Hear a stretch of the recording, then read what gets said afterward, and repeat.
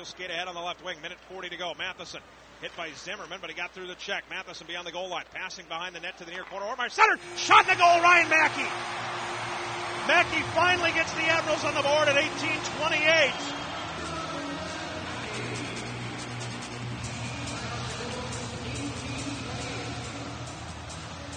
Ortmeyer and Matheson will get the assists.